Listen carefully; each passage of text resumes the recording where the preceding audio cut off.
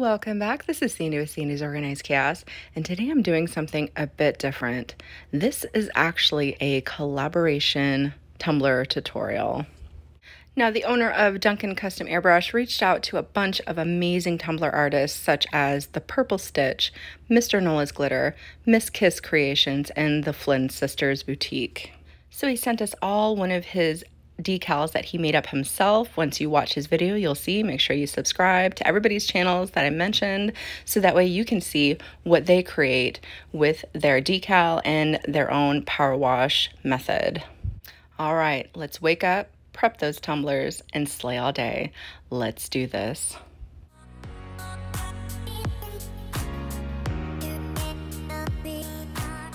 I'm going to go ahead and start out with the decal or the leopard print decal uh, that I use to accentuate my lip drip there.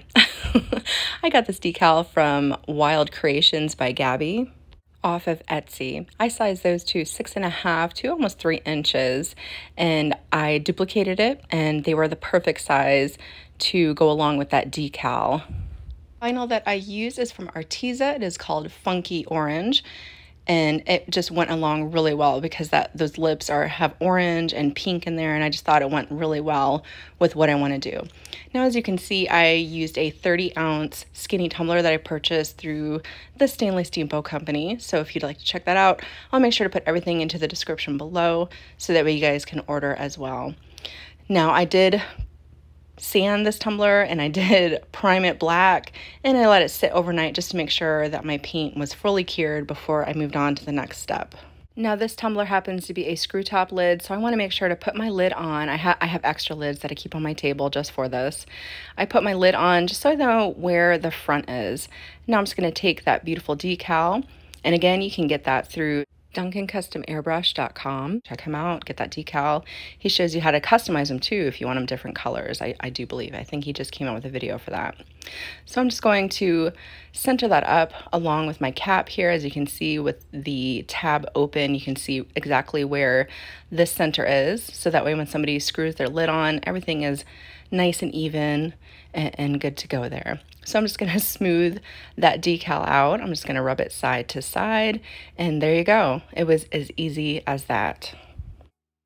Could you put this on a glitter base? Absolutely. You want to go ahead and just lay your glitter down make sure that that uh, next coat of epoxy over your glitter is nice and smooth before you add all your decals. And there you go, you have a glitter base. I'm gonna go ahead and get these weeded really quick and then we'll move on to kind of accentuating our leopard lip drips here.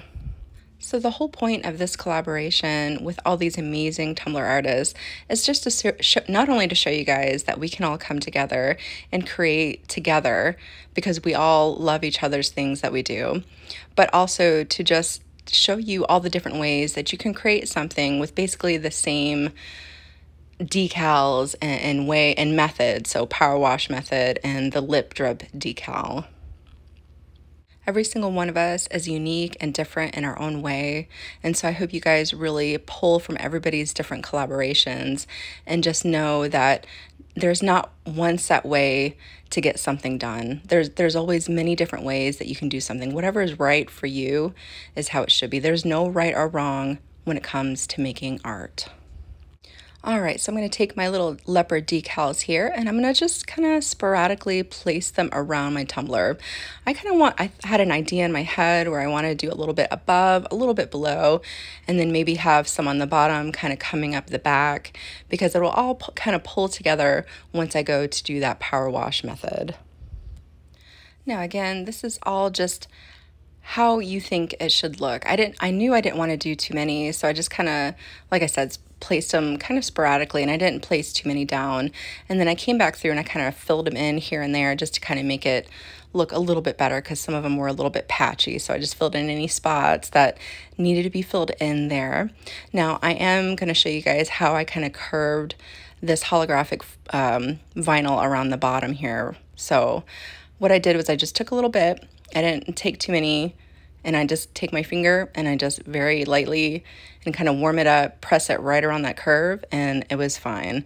Now, there was a little piece that wouldn't come off, but that's okay. We'll work with him in a minute. I'm gonna go ahead and take some more of those little leopard prints and I'm just going to push it back up onto the tumbler, kind of making sure everything fills in nice and kind of forms together and looks as one. Then we're going to come back through and fill in a little bit more. I'm going to come back through to that little guy that just didn't want to come off. So he's staying there. He, he's permanently on my tumbler there. So there we go. Now he's all filled in and he's part of the group here. So there we go. So like I said, you don't want to fuss with it too much. I think that's perfect. And I'm going to kind of roll with that. Now, I did come back through a, a little bit. See, I did add just a couple more little pieces just to kind of fill in here and there. And I even connected it on the bottom here. And like I said, if you just warm it up, uh, that vinyl on the bottom there, it'll perfectly form to those kind of curves that happen on the bottom of those tumblers. All right, so now we are ready to move on to giving it its first coat of epoxy because we want it nice and smooth for doing that power wash method. So as you can see, I went ahead and I sprayed down my tumbler with my two times ultra clear by Rust-Oleum before I applied my epoxy. The epoxy I like to use is Alumilite's Amazing Clear Cast, but please feel free to use any type of epoxy you have on hand. So I'm gonna go ahead and rub that in really well. Then after that, I'm gonna take my torch hit it up really good to make sure I get rid of any of those micro bubbles. I'm to let that cure overnight uh, for about 8 to 12 hours, and then we'll be ready to move on to that Dawn Power Wash. All right, let's do that fun, fun paint job. All right, it's been 8 to 12 hours. My tumbler is nice and dry, or not dry, cured. It's not tacky whatsoever. You don't want it tacky. I have my Dawn Power Wash spray here, and the paint that I'm using is Mambo Pink by Krylon. I know I use I usually I usually use Rust-Oleum. Oh my gosh. and I had some backup pink here just in case, but I just stuck with the Krylon there. It, it, it was fine. Now, I know most of you know you will need either a bucket of water or your hose. So, I know lots of you are in cold weather, so make sure you have a bucket on hand to do this with. So the first thing I'm going to do is take my power wash spray and I'm going to fill in the lip area because I don't want to paint that. And I'm to, I'm just going to do little blotches around that leopard print there because I don't want it all filled in. So I'm just going to do kind of blotches around all of that. Make sure I hit up the bottom, make sure I flip it over and do the same thing on the back. And then actually after I bring it up to the camera here, I'm going to take my Dawn Power Wash soap and then I'm just going to get all like the the tip of the the power wash all over it to make it have little spots all over it. Then I should have had my cap off, but I didn't.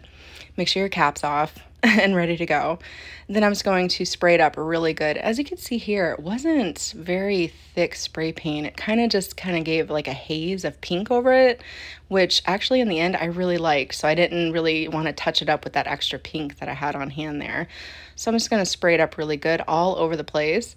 Then I'm going to bend down and take my hose and I'm going to very quickly wash off the paint and that's exactly how you do the Dawn Power Wash method. As you can see here, it leaves all these really awesome designs on your tumbler. It makes you look super pro professional and have a very unique look to everything that you do. Now I want to do kind of a second layer to this with the, with the same spray paint. So I'm going to make sure that is completely dry before I move on to the second layer. I'm going to kind of let it drip dry first and then I kind of took just a paper towel and dried it off after that. But you want it nice and dry to do any kind of second coats. You could add a different color. You could do whatever you would like, but I wanted to add just the same color. So I'm to go ahead and cover up those lips again. And then I'm just going to very sporadically spray the Dawn Power Wash all over the place.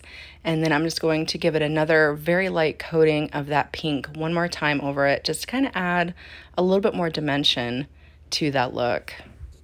And I'm going to do the same thing once I'm done spraying it down. I'm going to very quickly, once I am done, grab my water hose, rinse it off, and then I'm going to continue to let that dry because you want it completely dry before you go ahead and add more epoxy to your tumbler. So I'm going to go ahead and rinse that kind of show it to you guys here. You can kind of see the dimensions where it, it almost looks like lace in between. I really liked how that turned out and I hope you guys really enjoy doing this as well. All right, I completely dried it off. I even took it off my plunger there and I dried off my plunger as well because if you get any little drops of water into your epoxy, it could ruin your final coats here. So you don't want to do that. All right, so again, I'm just going to hit it up with two more finishing coats of epoxy because I like to add at least two finishing coats to my tumblers and it is good to go. I want to thank Taylor from Duncan Custom Airbrush for reaching out and asking if I wanted to do this collaboration. I had so much fun doing it, and I hope you guys enjoy everybody's collaborations that they do as well with this decal and the power wash method. This is such an easy design, and I know you guys got this. Whether you take this design and duplicate it as is, or you take it and let it inspire you to create something that is completely your own, I hope that you guys had fun watching this tutorial today. If you're new to my channel, don't forget to hit that subscribe button, and I will see you guys next time.